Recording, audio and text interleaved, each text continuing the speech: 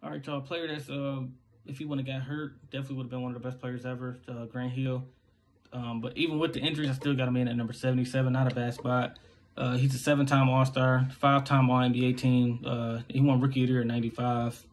Uh, Grant Hill averaged 16.7 points, six six rebounds, 4.1 assists, 1.2 steals, 48.3% from the field, 31.4 from the three-point line, and 76.9 from the free throw line. 17,000. He. He still scored 17,137 points.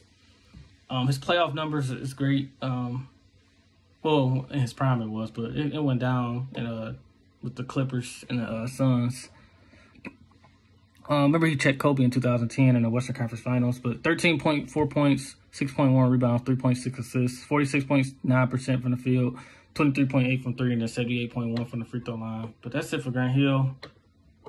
Um, wasn't an excellent shooter, but efficiency 48.3% from the field, 76.9 from the three point line. I mean, free throw line is not bad.